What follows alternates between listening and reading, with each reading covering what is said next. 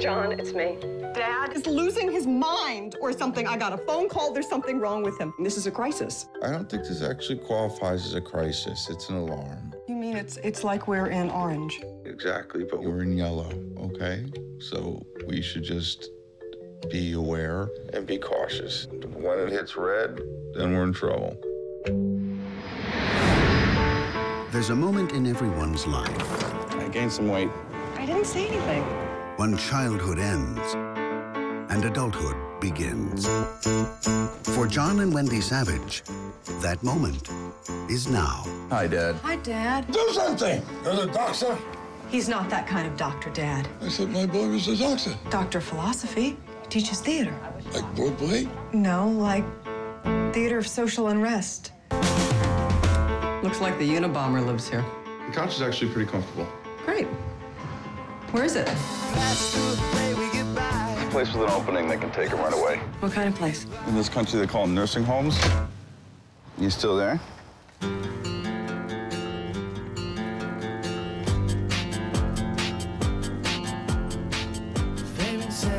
I got us an interview. It's called Green Hill Manor. Sounds like an insane asylum. You're an idiot. Can we just play the game?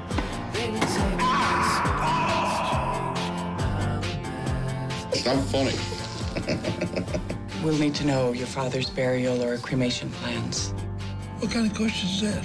Something they want for their records. Who? The people who run the place. What the hell kind of hotel is it? Fox Searchlight Pictures presents Maybe Dad didn't abandon us.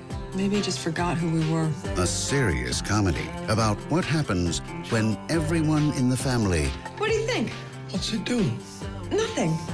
Finally starts acting their age. You're doing the right thing, man. Taking better care of the old man than you ever did of us. I know. When you're dealing with dementia, you have to bring things in to stimulate their memory. Excuse me? Uh, we, we haven't served the refreshments yet.